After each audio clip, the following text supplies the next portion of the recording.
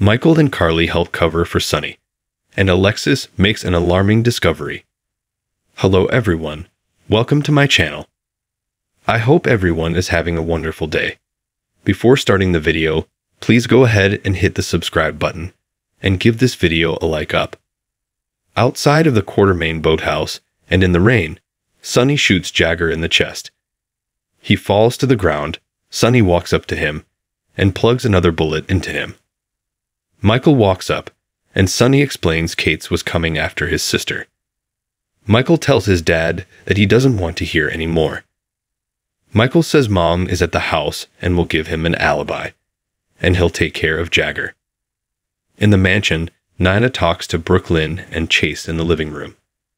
Tracy enters, covered in food and having been struggling with the devil baby, otherwise known as Ace. She explains she and Lois have been trying to get him settled for the last half hour. Tracy asks Brooklyn to give it a try, and if she can't quiet him, then she wants Chase to arrest Ace for disturbing the peace. Brooklyn walks Ace around and gets him to settle down. She even brings him downstairs, and Chase takes over. She mentions how she can't wait for Chase to be a dad. Tracy tells them to get a room. Upstairs, a soaked Sonny finds Carly and pulls her into a room. He needs her help and says if anyone asks, to tell them that they've been up here for the last half hour. She asks why. Moments later in the foyer, Sonny asks Carly if she is ready for this, and she says she is. They walk into the living room, and Sonny tucks his shirt in. Tracy is shocked, and Chase comments, Looks like someone already found a room. John Stamos got rejected by the Church of Scientology two years before making his acting debut in General Hospital.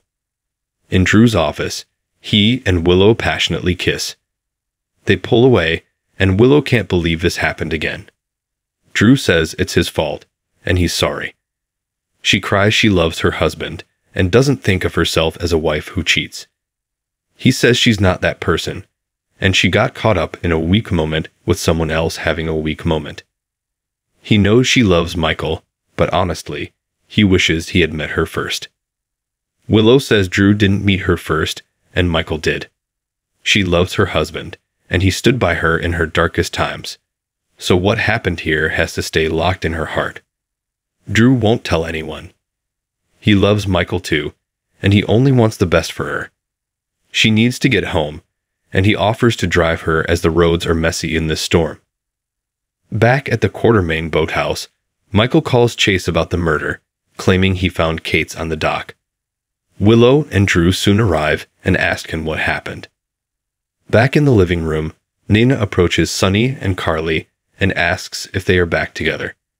Sonny explains they were just talking, and things got heated.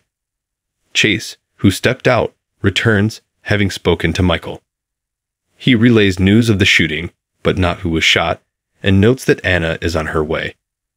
Tracy wants everyone to go, but Chase explains nobody can leave as they'll all have to be questioned. Down at the boathouse, Michael explains to Drew and Willow that he came down to make sure everything was secure with the storm and found Cates. He called Chase, and he's coming down now to secure the scene. Michael asks Drew to take Willow to the house and ensure she's safe, and he'll handle things here. Drew and Willow head to the house, where they tell everyone that it is Agent Cates who was shot, and Michael found the body. Carly gives Sonny a look. Back at the boathouse, Michael gives Chase a statement and asks to get back to his wife and family. He heads out, and outside detectives are taking photos of the crime scene. Chase tells Anna that Michael found the body and there was no weapon and no bullet casings left behind. Anna thinks about Jagger, how he was a good man to Robin once upon a time, and how his life went so wrong. She calls his death tragic. Anna says Cates didn't make himself well liked in town, so they will have a lot of suspects to consider.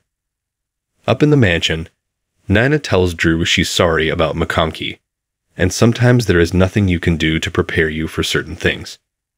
Drew says Death is one of those things. Tracy feels waiting around to be questioned is pointless as they all know who killed Cates. She announces it was Sonny. She says Sonny hated him, and Cates just happened to be shot the night Sonny came to check on his children. Sam arrives at Alexis' place. A worried Alexis explains that Christina grabbed her car keys and took off. Sam asks where she could have gone, but Alexis has no idea. Christina goes to Adela's grave as the storm rages on. She brought the Mickey Mouse doll that Sonny gave her weeks ago. She tells her daughter how sorry she is for what happened at the funeral, and that she deserved to be celebrated for the gift that she is.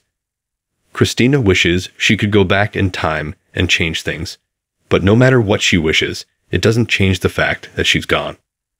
Christina cries that she doesn't want to live without her daughter. She promises to never forget her likes and her dislikes. She said she loves her so much and always will before finally leaving.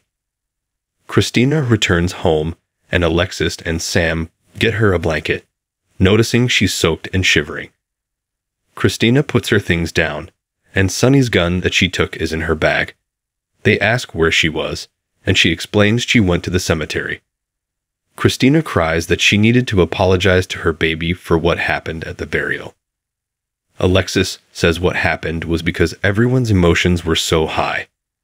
Christina admits she doesn't want to go on without her daughter. Sam embraces her. Sam and Christina sit down, and Sam talks with her sister about losing Leela. Christina asks if she dreams about Leela, as she can't stop dreaming about Adela. She is always happy in her dreams, and sometimes she is older and experiencing things like the first day of school. Then Christina wakes up and knows she's gone. Christina sobs that her dreams will never come true because of Ava, and she must ensure Ava pays. Christina eventually heads upstairs and Alexis thanks Sam for talking to her sister about her grief. Sam says she's well past what happened, and Christina will get there too. Alexis is worried and feels her focus on revenge isn't healthy. Sam considers it a result of Christina's emotions being all over the place. Alexis thanks her for her help and tells her to go home. Sam heads out, and Alexis grabs Christina's things. She ends up finding the gun in her daughter's bag. On the highway, Jason finds Izia has been hit and left for dead on the side of the road. He checks for a pulse and then calls 911 to report the hit and run. Nearby, Boyle walks Ava through the rain and into the woods. Ava cries that she has a daughter who depends on her. Ava wonders if she's ever killed someone, as it changes you forever. Ava explains that she was where Boyle is once. She killed a woman, and regrets it every day. Boyle notes it sounds like karma and cocks the trigger. Ava screams, Don't do it. Suddenly, Jason appears with his gun drawn and aimed at Boyle. Jason tells Boyle to drop her gun and let Ava go. After a moment to think, Boyle finally drops her gun, and Ava picks it up and aims it at her. Ava gloats, How is this for karma? Boyle says this is where she says she has a daughter, too. Ava doesn't care and asks Jason to take care of this. Jason isn't getting involved, but she says he is involved. Ava is at her limit. She's tired of being pushed around and having people play games with her life. She aims the gun and says, No more. Ava tells Boyle there was a time she would have shot her, but not now, and she'll leave it to the professional. Jason grabs Boyle and tells Ava they are in this together. He orders Ava to look around and ensure nothing is left behind at the scene. He pulls out his phone and calls the police. Rick shows up at the hospital with flowers for Liz. Liz has no intention of accepting them, but she will break them up and give them to her patients. He asks her to dinner, but she says no way. He thinks he'll circle back around and ask her again later, and he hopes she's changed her mind by then. Portia runs into Jordan in the halls and asks how much she knows about Rick. She reveals Rick has taken over Heather's case and wants to know if he could win it. Jordan says from what she knows Rick is a very good lawyer. Rick finds Liz walking the halls and brings her some coffee. He is impressed she's head nurse now, and she asks if he's still practicing law. Rick says he is, and is also staying out of trouble. He is on the road to self improvement which he should have started earlier. Liz asks about Molly. Rick says she's being strong, and he's proud of her. Rick changes the subject to ask what she thinks about Heather. Liz says Heather has a soft spot for her because of Franco. She asks if Rick is representing her. Rick admits he is. She warns him that if he takes her on as a client, then he'll never make friends in this town. He jokes that's never been a problem for him, and aside from Molly, only one other person's opinion matters to him. Another nurse needs Liz's help, and Rick asks if they can continue this another time. Liz says she's off in 20 minutes and suggests they meet downstairs.